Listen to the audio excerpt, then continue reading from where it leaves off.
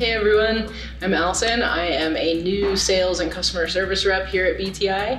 Um, I've got my bike with me here. Just wanted to talk through the build with you guys, do a quick bike check. So I am riding a Guerrilla Gravity Mega Trail. This is actually set up as a Mega Smash, which is a really cool modular custom feature that Guerrilla Gravity offers. So I've got a 29er wheel in the front, 27.5 in the back. Um, gives me a lot of traction for climbing, but still really nice and playful in the back for, for good descents. Um, I do have i9 wheels on here. I got the Enduro 305s for that extra, extra engagement and a little bit of extra bling as well.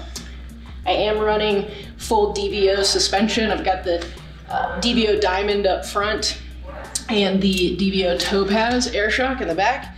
I'm running it upside down so I can fit a bottle cage here for maximum clearance. Um, I am running SRAM brakes in addition to a SRAM drivetrain as well. So I got the SRAM Eagle in the back there. I do have some Deity pedals as well here. I got the T-Max, um, extra bitey, big platform, just what I need for downhill.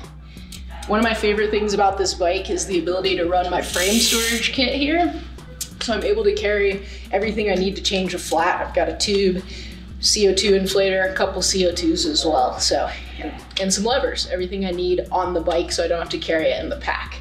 Um, I do have a Bike Yoke Revive seat post, one of the smoothest, best seat posts out there on the market. Really enjoy the different dropper lengths that it comes in. It can get it really nice and tall. I like to slam mine down, again, maximize those descents for sure.